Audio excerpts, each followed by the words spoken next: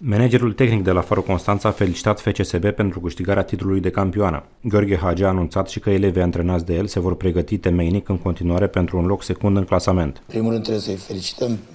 Campionii au făcut un sezon foarte bun, au dominat campionatul, pragmatici, constanți. Cred că e echipa cea mai bună.